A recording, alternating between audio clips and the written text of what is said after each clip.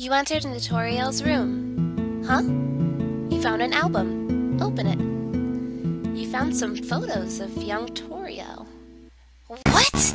You sleep with the albums on the shelf. Oh, you are here. I was finding you, my child. Why are you sweating? Is it hot in here? Mm-mm. You felt your sins crawling on your back. Nice ears, Fluffy Buns. I think she likes me. She's got a weird way of showing it, bruh. Why is that nerd so cute?